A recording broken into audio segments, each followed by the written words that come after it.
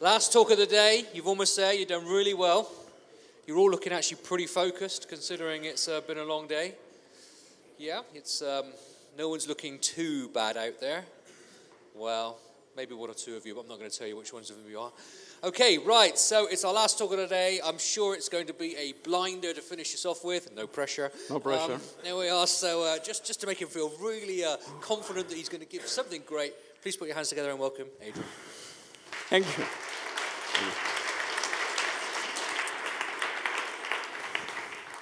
Thank you so much. I'm actually extremely thrilled to be here today. There's plenty of friends of mine, ex colleagues of mine who came as well, current colleagues of mine who are here as well. So it's, um, it's really a great, great moment for me. So my name is Adrian. I'm a self taught software developer. I'm 42 years old, and this is my story. A couple of months ago, I came across this tweet. Um, yeah, so I'll let you sink in the image. And as you can see, the inflection point, or the, actually the connection between the two lines, the blue and the red one, is exactly more or less at 40. So you can say that I'm pretty much in that situation where I'm asking myself, am I on the red path or am I in the blue path? Hopefully, I'm in the blue path. But it's a big, big question anyway. So when I saw this, I realized where I was as a developer and where I started. I started thinking about how it all started. And it all started in 1997. My career started in 1997 in uh, a city called Olivos in northern Buenos Aires. So you cannot probably say by my family name, but I was born in Argentina. So it turns out that this is where I started. Uh, and the day I started to work, it was exactly in the morning of Monday, October the 6th, 1997 at 10 a.m., Buenos Aires time. So for those who speak Unix. And I was 24 years old. This was me, yes. And, uh, and this was the web. This was the future. This was portals. You know, Excite was all the rage back then. Uh, portals were going on NASDAQ with valuations of billions of dollars overnight. It was a huge, huge thing. However, there weren't any cookie, blue, cookie advertising, like you, do you want to receive cookies in your computer, this kind of thing. We didn't know about that yet. A couple of days before I started my job, a couple of weeks before, uh, Bill Gates had injected $150 million into Apple. It was a very different Apple back then, and it was a very different contrast between Steve Jobs and Bill Gates on the same stage.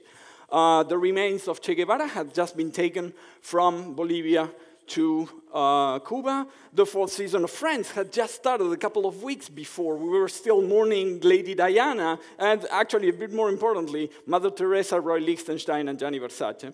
Uh, people were playing Final Fantasy like crazy in their PlayStations, for those who remember. The Teletubbies had just started broadcasting as well couple of days before I started work. And uh, this was about to happen a couple of weeks after I started working as a software developer, uh, which would become the biggest blockbuster in the history of cinema and still is. This was a, what a smartphone used to look like. This is the Nokia 9000 communicator. I don't know if any one of you has had one of these. Uh, there you go. The, the chip inside the hardware is really interesting. It was a 386 Intel CPU inside of this machine, uh, and the operating system was GEOS, for those who remember from the PC era back in the 80s. This is a smartwatch. What we called was a smartwatch back then. Uh, top of the line Casio watch. This is Garry Kasparov being very worried because for the first time, a couple of days before I started my work, uh, a machine beat this great champion at the game of chess. Using not artificial intelligence, but actually brute force. That was the key of Deep Blue, and it's a very interesting point that you should keep in mind. And this was about to happen. Actually, it had just happened pretty much the week before I started to work.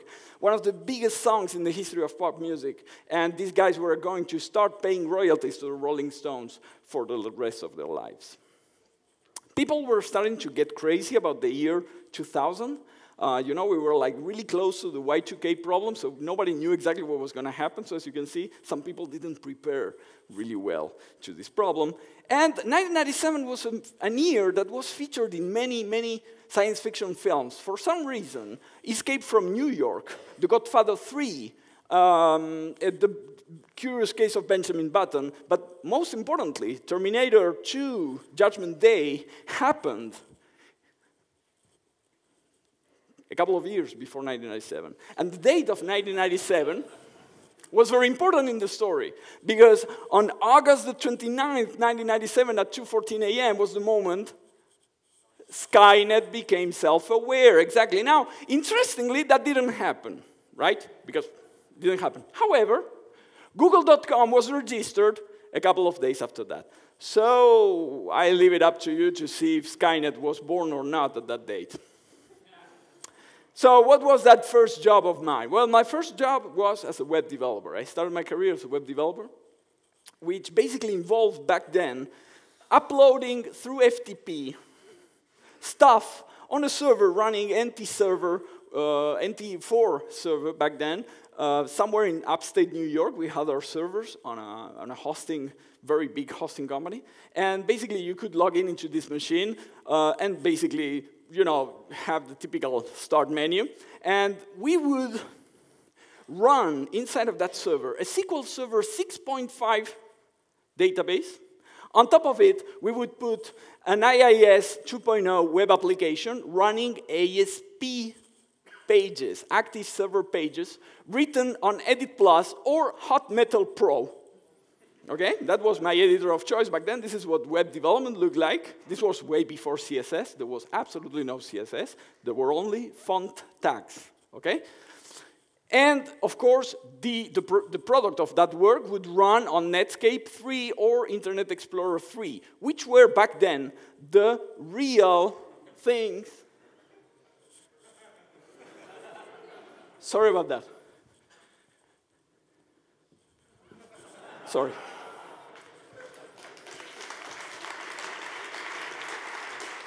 I'm really deeply sorry, deeply sorry. This, is, this would happen actually really all the time. This is what it looks like.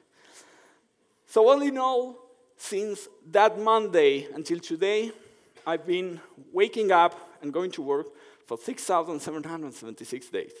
I got this number, of course, by making marks on the wall. No, I'm kidding, I'm kidding. I actually went to datecalculator.com or something like that. Many things happened during that time, okay? The most important of which being that I, I got married. Uh, we're going to celebrate 10 years of marriage very soon.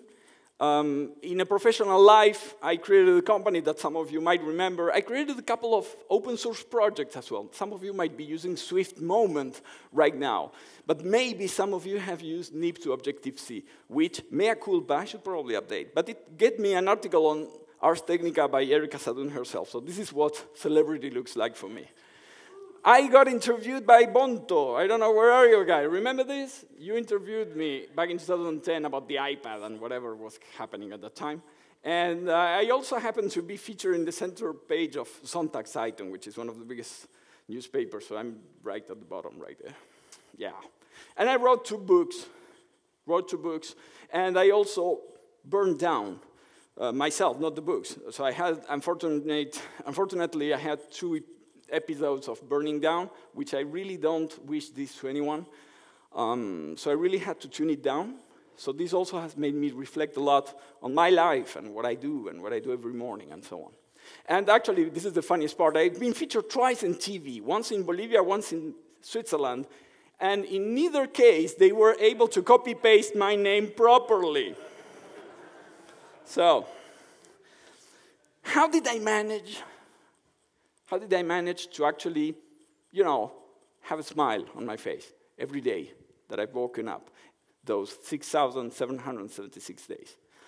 And I started thinking about what it took, the things I did to actually, you know, enjoy my job every day. And I found 12 tips, 12 things, 12 items, little tips that might help you. So that's my that's my role today, is to entertain you a little bit and maybe to give you some data as well. The tip number one is to forget the hype. This is a very important, there we go. This is a very important tip. This is the first thing that I actually think that made my job actually really, really uh, sustainable in the long term. You know, since 1997, there's been a lot of technologies that appeared and disappeared. Some of them remained, but they were all hype, very hype technologies. For example, in 1997, we had Corba and RUP. You know, the, whatever request broker architecture and RUP, you know, the, the, there was no, there was no agile. The agile manifesto has, had not been written. It's been written in 2001, if I'm not mistaken. In 2000, it was SOAP and XML. Of course, everybody, everybody was writing XML schemas. You know, HR people, you had the HR XML. You had mining people, mining XML. Medical people, for every illness, you've got an XML for every illness, you know? And then you would use SOAP to take this stuff from one side to the other. Guess it didn't turn out quite well. In 2003, it was model-driven architecture and software factories. This was the big thing back then. Everybody was thinking of getting rid of us, the software developers, because we would just create a new UML diagram, and the whole thing would be defined by this UML diagram. Didn't work out well either. In 2006, it was a semantic web and OLPC. OLPC, which turned out to be Android tablets by now, but they are still around. But it's not clearly not the, the original vision that they had. 2009 was augmented reality. Everybody would be like that. Oh, I'm hungry. I want to find the restaurant. Oh, there's one right there. No, it didn't quite work out that well. In 2012, it was big data. Everybody was a rave about big data. It turned out that only NASA and CERN required big data. The rest of us could use a very nice NoSQL database, and everybody was happy. And right now, apparently, it's virtual reality and bots. Whenever you tune into MSNBC, seriously, all the tech startups that are raising billions are doing one of those two things. So then again, it's hype. I don't know for how long. I cannot know. So I just leave the question mark right here. In any case, I want to go very quickly to SOAP. And let's state it very clear, SOAP, it's crap, but you already knew that. For each one of these technologies, we have had one of these Gartner, Gartner or Gartner cycles of technology, right? Um, some of them have reached some kind of plateau productivity because they're being used by probably one or two people in the whole planet. So you can say that it's a certain plateau of productivity. But clearly, clearly, you can forget about productivity. However, however, thanks to our dear friend Cedric, if you're watching us, hi Cedric, I told you that this tweet was online. Um, Swift is as well a way to get into the Swift hype. So please let's make a lot of attention, let's pay a lot of attention and try to separate hype from, uh, you know, substance, if you wish. The second most important tip that has kept me interested in this industry is to choose my galaxy. What do I call my galaxy? Every technology that you choose is a galaxy. Android, iOS, um, Django for Python, uh, Ruby on Rails, .NET, all of these technologies, well, J2E, for example, all of these technologies have stars, dark matter, black holes, dead planets. And clearly, there's a lot of hype surrounding these galaxies. So you gotta be very careful when, where, where you're going to put your chips, because this is like a big table in the casino. In my case, I migrated from one galaxy to the other. I started my career as a .NET developer for during 10 years, from 1997 to 2007, more or less. I was a .NET developer. And after that, I migrated to the iOS galaxy, which has pretty much brought us together tonight. Uh, I gotta say that it was a great change. And the reason why I changed from one galaxy to the other is not a technological one. It's actually a social one because the people who live in that galaxy are absolutely awesome. They're creative people, artists, people that just happen to code. I've met musicians, I've met painters, I've met writers, and they happen to write apps to support whatever they do. There's a richness in the Apple ecosystem, or what I call the Apple galaxy. How do you choose a galaxy? How do you go from one galaxy to the other? My tool is to learn about software history. Whenever you get interested in one of these galaxies, it's very interesting to actually see how things have evolved from their very beginnings. Why were technology choices made in a particular way or another? For example, let's say that you're into .NET. How did .NET come up to be? How did C Sharp was, who created C Sharp? Why? What was the market situation back then? Who were the enemy? Who were the enemies of Microsoft back then? It's a very interesting thing to understand these dynamics, social dynamics, economic dynamics around each one of your technologies. In my case, I would suggest starting with a little bit of, of reading. And I will suggest you six books. And I will tell you why later. First of all, Dealers of Lightning, The History of the PARC, Palo Alto Research Center by Xerox. This is a must read book. It's a novel, it's an incredibly entertaining book that gives you all the story about how the GUI was born, the PostScript printers, laser printers, uh, Ethernet networks, email. Lots of things that we take for granted were born in an unknown place somewhere in Palo Alto, California. My second pick is, of course, Revolution in the Valley, because it's the history of the Mac. There's a lot of the spirit of what we do as iOS developers uh, inside of that, but there's a telling tale about how technology is created and why certain choices are made. Of course, open source is a major force in our world. So I would, of course, recommend you to read The Cathedral and the Bazaar. But even more important than that is the success of open source by Steven Weber. Steven Weber is a political scientist. He's not a developer. He got to, down to studying the dynamics of open source software from a political point of view and explains why the BSD license is the way it is, why the GPL license came to be, why Stallman took the choices that he, he did take. It's a very interesting telling tale. Windows, it's a major, major, major component of our history. But if you really want to know as a developer why Windows is such a clusterfuck, that is the book that will tell you all the clues. This book explains why you can run Lotus 123 on Windows 8. And it will surprise you. And of course, the most important book of them all for me, I think, The Mythical Man Month. Most of what's written inside is not important per se because it might map to your expectations. Okay, it's not exactly like your projects will be exactly the same as the OS 360 project. Well, maybe I, I hope not, but could, could be. Um, but it's very important to see how the dynamics between the team members, between the project managers, how all of those things were mapped back in 1967, 68, 69. How many millions of dollars have been spent for one of the most important, um, commercially important projects uh, of that era, which is the uh, OS 360 from IBM. In, from a historical point of view, there's a lot of technologies that is worth learning. Tech, NeXTSTEP that we call Cocoa, Bash, Lisp, C, Emacs, ARM, all of these things have been around for a long, long, long time.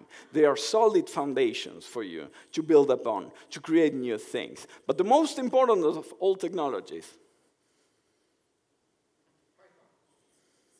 connection lost. That's why. the most important of all technologies, connection lost, is, of course, Vim which was around, as you can see, in French TV back in 71. Uh, I found a commercial about Vim, uh, which turned out to be, well, nothing related, but I like the idea of a very old technology, and Vim actually quite fits the bill, you know, because I like Vim. I, and I actually will continue the rest of my talk talking about Vim, because Vim is such a powerful and great editor. You should all be using Okay, no, but maybe for a next talk. I will leave you with this. It's a tweet that was going around, you might have seen it. The most important thing that I want to point out is the last phrase learn the fundamentals, the rest will change anyway. But it's important to learn the fundamentals, okay? This guy graduated in 2000. Many of the things that we take for granted today didn't even exist back then.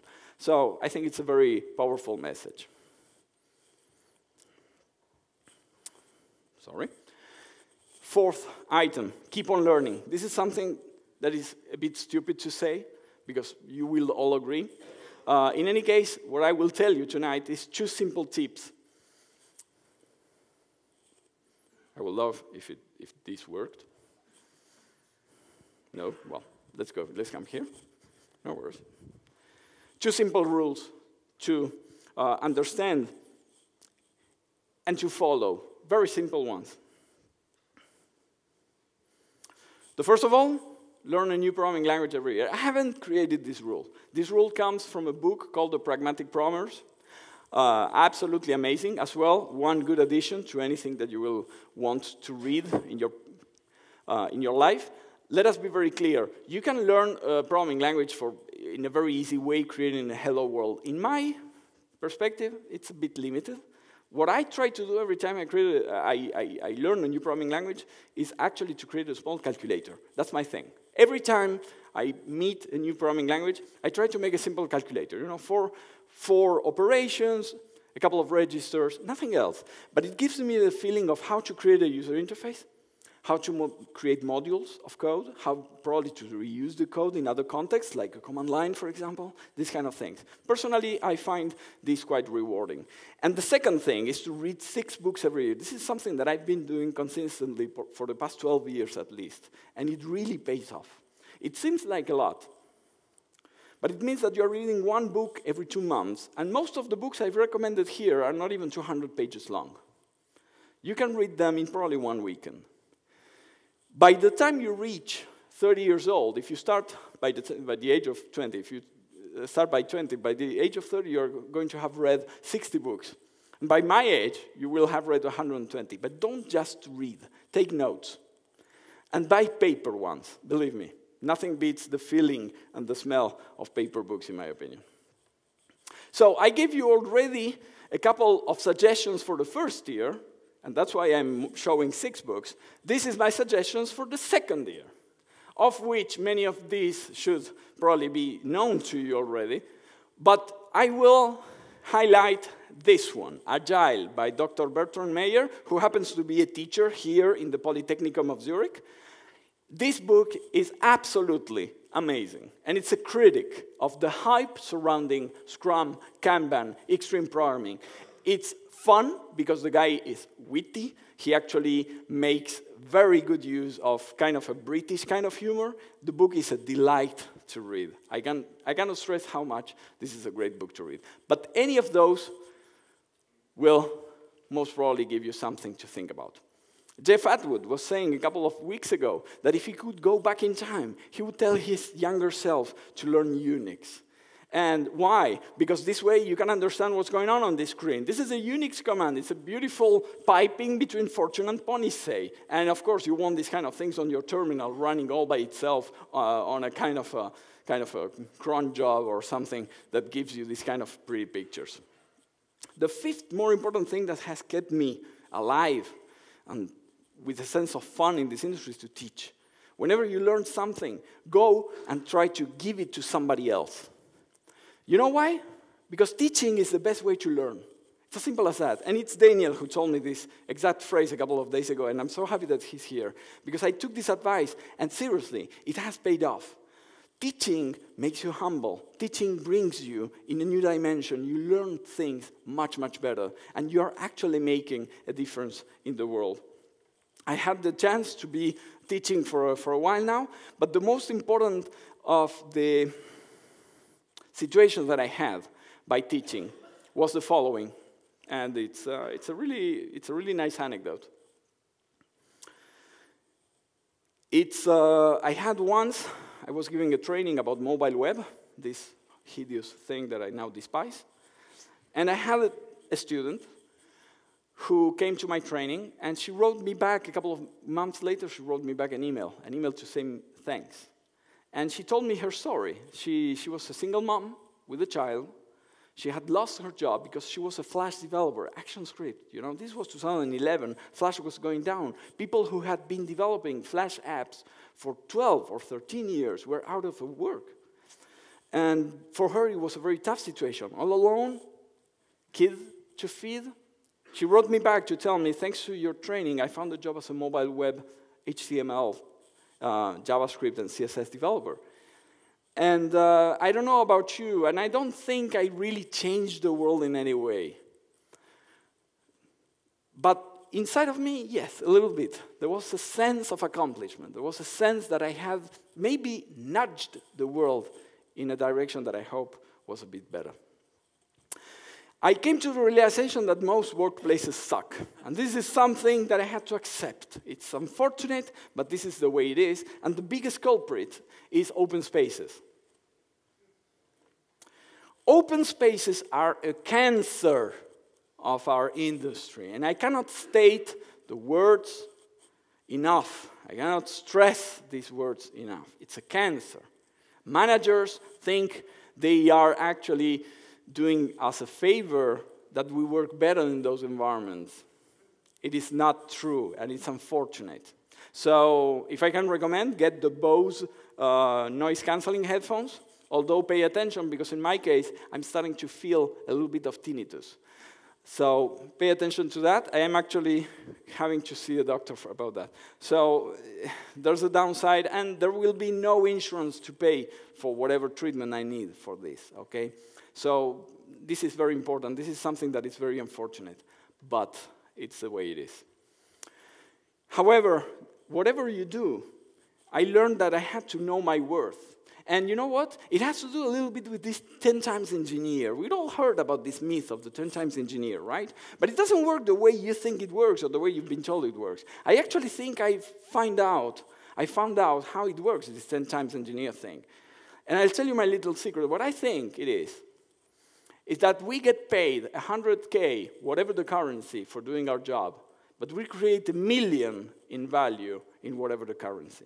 This million in value is not marketable immediately. It's not something that these managers and the founders of these companies can go and cash immediately. But they will cash it when they get bought by big companies, when they create products that are super successful. And most of the time, they are the guys getting the Porsche, not you. So pay attention to this. The 10 time engineer thing is unfortunately something that exists, and I will leave you with this telling tale that I think will resonate in many of you, unfortunately. Another thing that I had to learn was that we have to send the elevator down. I'm a white guy. That already puts me in a position of privilege, tremendous privilege. I'm a white male. I've seen women harassed in workplaces I've worked. I've seen people of different ethnics, different countries, nationalities, disabilities, people with disabilities as well, being mocked by people who, you know, know a bit better than that. I think we have a responsibility. I think I have a responsibility as a white male to send the elevator down and to make everything in my power to empower women of any color, people from other countries that have the skills and the willingness to get into this industry, to create opportunities for all of these people, to add accessibility features to our apps. And this is something that we just saw a couple of hours, uh, one hour ago, right here. Accessibility is inclusiveness, okay? This is super, super, super important. And I actually think that we have to make a difference. If we really want to make our industry a better place for all of us, we have to work on these things. We're very, very far, very, very far from an ideal state. And I do believe that the desirable developer skills are the ability to ignore new tools and technology, taste for simplicity, good codes, deletion skills, and humility. So we need a lot of that in our industry. Another thing that I started to pay attention a lot that has actually paid off is paying attention to LLVM. Everybody's very happy about Swift. Everybody is raving about Swift. But you know what? The interesting stuff is right below it. It's called LLVM. And LLVM is actually powering most of the most incredible stuff that is happening right now in our industry, including Metal, Rust, Swift, Piston, Emscripten, And, I, I, I didn't have I, didn't, I didn't include everything that I found. Microsoft is working on a bridge between LLVM and the CLR. Uh, Facebook has been working on a PHP interpreter based on, C, on LLVM. Uh, Dropbox is working on, P, on Piston. Uh, and I don't know, who else? Google. Google uses LLVM for the Android NDK. Let us be very clear. Two of the most loved languages in the last year, Stack Overflow poll where language is based on LLVM. LLVM is one of the most important technologies of our current time. We are going to hear and we are going to see ripples from LLVM, I think at least 20, 30 years from now. And I really think that Chris Lattner, which is the founder of the project, of course, and main architect, is really thinking about the future, about the successor of everything that we are using now C Sharp, Java, all the mainstream technologies. The foundation of LLVM is going to take us very far away. So pay attention, pay attention to whatever happens on LLVM. I learned to follow my gut. You know, a lot of people told me early in my career, oh, you should choose a very nice technology, a galaxy, right, and stay there and create a career. Sometimes just follow your gut and move from one galaxy to the other. Like in my case, I went from Microsoft to .NET because you gotta follow your heart. and it's, it's, a very, very simple message I can leave to you, or in this case, it's Daniel Kibblesmith who will leave it for you. APIs are king. We're all mobile, interested in mobile apps right here in this audience. In my opinion, a good mobile app is primarily because the API rocks.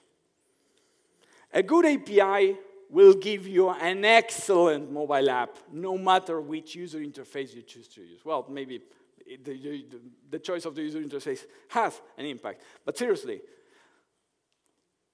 the faster you can iterate on your APIs, the faster you can add features on your APIs, the faster you can get your APIs into production and test it and deploy it, the better your mobile apps.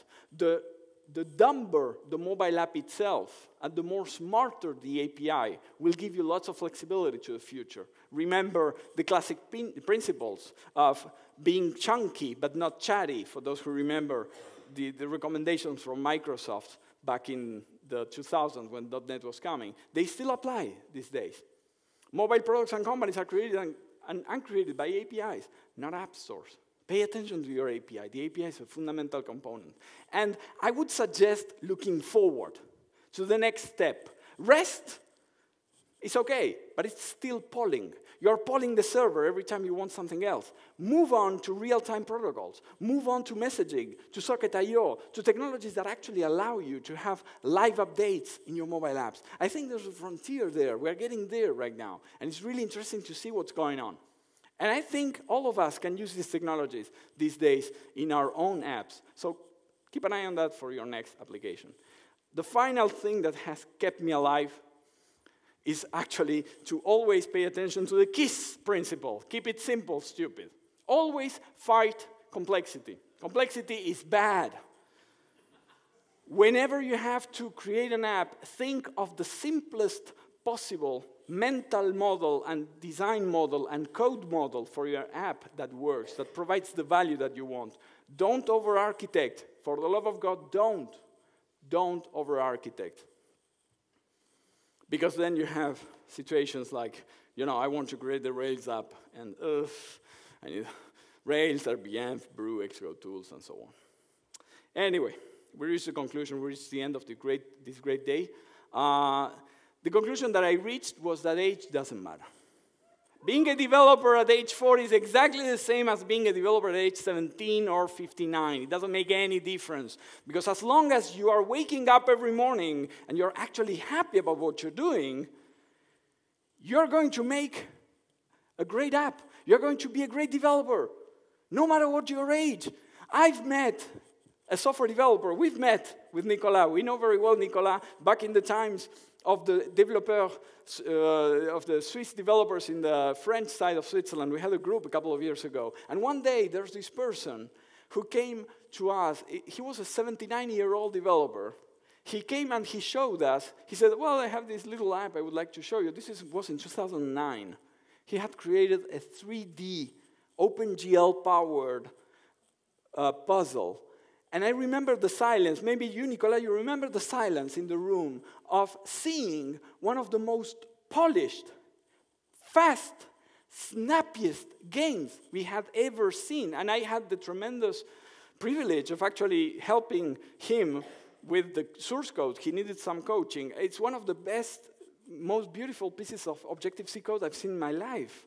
Uh, the, the guy had an experience of 50 years a, as a developer, 30 of which exclusively on C++. He was a tremendous developer, and he had this brightness in the eyes. He was incredible, incredible, absolutely incredible souvenir. So seriously, I think now, what about in 19 years from now. In 19 years from now, it will be 2035. In 2035, we're going to remember, of course, somebody will give a speech like mine saying, well, it was the year that uh, David Bowie was gone, Harper Lee, and the guy from Earth, Wind, and Fire, and Prince. I should have probably have put Prince instead, but I didn't, I, didn't, I, I forgot to update the slide. And of course, he will give an introduction of what the technology escape was like, but he will tell the telling story of a guy who lost to a computer. And this time it was not brute force. We actually got to the point which is actual artificial intelligence at play. And it really changes the game. And it's also the year where Microsoft published SQL Server for Linux, and it turns out that it's probably the year where Google started considering to use Swift for Android, which actually means a lot. Unfortunately, it's also the year where something very dear we didn't know we had is probably going to go away. So I just leave this because by 2035, everybody will be freaking out about the 2038 year problem. Okay, this, it's coming back. Everything comes back in computers, I tell you.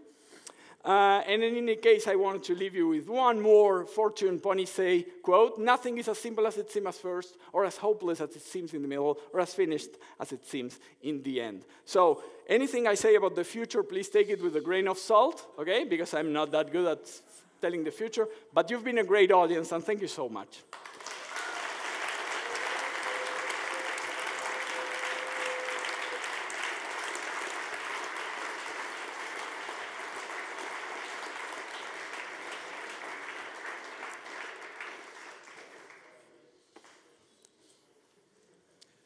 Brings back nightmares, that really does. okay, it's been, it's been a really great day. Uh, thanks all for, for sticking through it. Um, can we just say thank you to all the speakers who've been on today uh, by just um, giving them another round of applause for their work? Thank you.